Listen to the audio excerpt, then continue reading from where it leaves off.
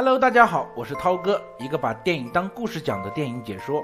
今天涛哥给大家带来的是美国恐怖电影《星之彩》。值得一提的是，本片的主演是大名鼎鼎的尼古拉斯凯奇。好了，故事开始。凯奇和妻子花姐、大女儿小美、二儿子小帅、小儿子正太居住在小镇郊外的农场里，这里环境优美，民风淳朴，他们一家子过得平淡而又舒心。然而前不久，花姐被诊断患上了癌症，为他们的生活蒙上了阴影。为了给母亲看病，小美暗地里研习巫术，试图用古老的仪式为母亲祈福，治愈她的癌症。这一天，小美在河边祈福的时候，偶遇了前来此地勘察的水文学家博士哥，两人是因此相识。二儿子小帅整日无所事事，是个不折不扣的宅男，而小儿子正太活泼可爱，是全家最宠爱的孩子。这天的夜里，一颗流光溢彩的太空陨石从天而降，伴随着耀眼的炫光和一声巨响，坠落在了凯奇家的院子里。凯奇一家也是突然惊醒，而陨石散发着一股难闻的烧焦的味道，他们也不敢轻易靠近。第二天一早，凯奇就打电话报了警，而博士哥听闻后也赶来凑热闹。不一会儿，镇长和警察也随之而来。经过一晚的冷却，陨石也失去了耀眼的光芒，但仍然散发着一股难闻的味道。博士哥确认这就是一颗普通的陨石，没有什么特别的地方。不过，他也发现这里的地下水出现了问题，散发着一股难闻的怪味儿。于是，他采集了一些样本回去化验。接着，女镇长告诉凯奇，这一大片土地即将被建立的水坝形成的湖泊所淹没，觉得这是一次很好的宣传机会，决定暂时不动陨石，改天带着媒体过来一探究竟。而当天的晚上，电闪雷鸣，陨石再次散发出紫色的光芒。博士哥的营地也发生了怪事儿，营地的四周出现了一种似有似无的颜色。紧接着，旁边的汽车也自己启动了，这可把博士哥给吓坏了。转过天，凯奇夫妇发现陨石凭空消失了，是谁干的？难道是眼红他们有这稀罕物，故意给偷走的？但紧接着，他们就发现怪事儿可不止这一件，周围的野生动物变得躁动不安，各种昆虫、两栖动物竟然开始跨物种融合。这种诡异的氛围开始往凯奇家里弥漫，花姐也开始变得精神恍惚，做饭切掉了手指也都浑然不觉。幸好是凯奇及时发现，将老婆送往了医院。而大人们离开后，诡异的事情还在不断的发生。正太是一整天对着家里的水井发呆，还与看不见的朋友对话，还看着一只类似螳螂的紫色生物从井底孵化出来，并飞向了远方。而另一边的小美在刷碗的时候还是十一点二十分，然而一股耀眼的光芒照进来之后，时间立马就跳到了下午四点四十五分，时间居然凭空的消失了。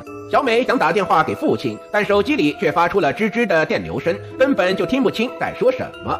而另一边，博士哥来到小镇家，挨家挨户的通知所有人不要饮用井水，说水已经被污染了，但大家却不相信他，只有疯疯癫癫的老王头相信他。老王头让博士哥听他录制的声音，说自己听到地下传来了奇怪的声音，感觉像是外星人。然而博士哥听完后，认为这有可能是地热活动或者是磁场畸变的声音，应付了几句就离开了。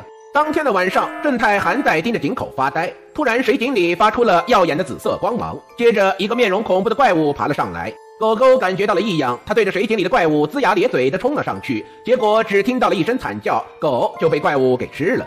另一边的小帅在农场干活时，突然遭遇了鬼打墙，直到天黑都没有走出来。时间在无声无息中快速消失，两个弟弟也都消失了，这可急坏了小美。她四下找了好久，弟弟们又都突然出现，只是他们也变得像母亲一样目光呆滞。这时，凯奇和花姐做完手术赶回了家。当凯奇看到受到惊吓的正太时，突然变得暴躁和愤怒。小美想要告诉他们家里出现的奇怪事情，可凯奇根本不给他们解释的机会。晚上，凯奇洗澡时还被一种类似果冻或者说是水母的不明生物攻击，手臂上开始出现可怕的红疹，他因此变得歇斯底里的狂躁不安，经常把毫无缘由的怒气撒在别人的身上，对妻子和孩子大吼大叫。心情烦躁的凯奇打算喝酒解闷儿，却发现手臂上奇痒难忍，仔细一看，自己好像是得了皮肤病，手臂变得像老树皮一样，并且凯奇也是变得傻傻的，只会对着电视机发呆，一直坐到了天黑。而小美似乎也感受到了家中有了不干净的东西，于是她动用巫术，以鲜血为献祭，然后用刀子在身上刻满了各种图案，试图用自残的方式来保佑家人们的平安。而另一边，小帅和正太听到谷仓里传来了奇怪的声音，于是他们一同前往查看。而眼前的一幕让他们毛骨悚然，原来这里养殖的所有羊驼都粘连在了一起，变成了怪物，周围还被紫色的光芒所笼罩。两人吓得转身就拼命的往外跑，而途中正太突然摔倒，正好遇到了前来查看情况的妈妈，而母子俩同时被紫色的光束击中，刹那间母子俩就融为了一体，变成了一个恐怖而诡异的连体怪物，身上还不时的闪着陨石般的彩光。而对着电视机发呆的凯奇被母子俩痛苦的尖叫声惊醒，眼前的画面把凯奇和小帅都惊呆了，赶忙就把花姐和正太抬回了房间。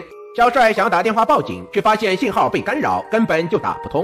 此刻的凯奇是感到无比的绝望，他不想看到妻子和儿子继续痛苦下去，打算给母子俩一个痛快，可是自己又下不去手。在最后吻别的时候，也被怪物的入侵丧失了理智。羊驼的叫声让凯奇是更加的心烦意乱。他拿起了枪，冲进了谷仓，看到了粘连在一起的羊驼之后，彻底的崩溃。他根本不知道自己的敌人到底是谁，唯有开枪才能发泄自己心中的憋屈和恐惧。爸爸疯了，小美、小帅想开车去报警，车却打不着了，想骑马去，但马却像受到了什么惊吓一般，挣脱了小美手中的缰绳就逃跑了。最后的交通工具也没有了。这时，他们打算徒步前往，却听到井里传来了狗的叫声。而小帅不听小美的劝阻，非要下去救狗狗。可刚下到一半，就被怪物拖进了井里。小美只能眼睁睁地看着小帅被怪物吞噬，却无能为力，只能发出无助的尖叫声。凯奇听到小美的尖叫声后，再度变得暴躁，把她关进了阁楼。不久，博士哥带着警察一起前来查看情况，听到楼上传来了小美的尖叫声，两人是赶忙跑上去救人，结果就看到了凯奇一家诡异而恐怖的场景。面对如此诡异的场景，他们顿时就愣住了。而变成怪物的花姐母子向着他俩扑了过来。凯奇这时好像又恢复了理智，他不忍心看妻子和小儿子这么痛苦，于是开枪将他们给打死了。就在一行人准备离开的时候，怪物再次出现。凯奇端起枪准备射击，而警察误以为凯奇是向博士哥他们开枪，于是抢先一步射杀了凯奇。面对一家人的惨死，小美是崩溃了，她拒绝离开。这时，隔壁老王头的房间又传来了怪音，博士哥赶紧跑过去，发现老王头的全身已经被紫光笼罩，而收音机里播放的内容说出了这一切的真相。原来这个外星来客并不是陨石，而是外星高等种族克苏鲁星之彩的胚芽。这东西只要遇到肥沃的土壤或淡水，就能孵化出像水母一样的幼虫。而更可怕的是，星之彩在孵化的过程中能吸干至少方圆五英亩范围内所有动植物的生命力。而它吸够了足够的能量后，就会离开地球，前往太空，并最终成熟。随后在逃跑的路上，警察被怪物吞噬，惊慌失措的博士哥只好又折回了凯奇的家来找小美。然而，小美也逐渐的被怪物侵袭变异。此刻的小美和整个空间发出了难以形容的光芒。克苏鲁大神降临人间，接着发生了大爆炸，一切的一切都化成了飞灰。而博士哥趁机躲进了地下室，幸免于难。故事到此结束。宇宙中神秘的存在，克苏鲁神话中所谓的神，并非是神灵，大多是来自于宇宙的外星生命，却又无法用已知的科学进行描述，诡异、冷峻、神秘莫测。而电影最后的结局，用一种震撼的方式，很好的展现了原著中的这种感觉，是一部诚意满满的克懂电影。好了，今天的电影解说就到这里，喜欢的小伙伴记得给涛哥点赞和转发。如果你有想看的电影，也可以在评论区告诉涛哥。最后，当然也别忘了点个关注，涛哥每天为你解说一部恐怖电影。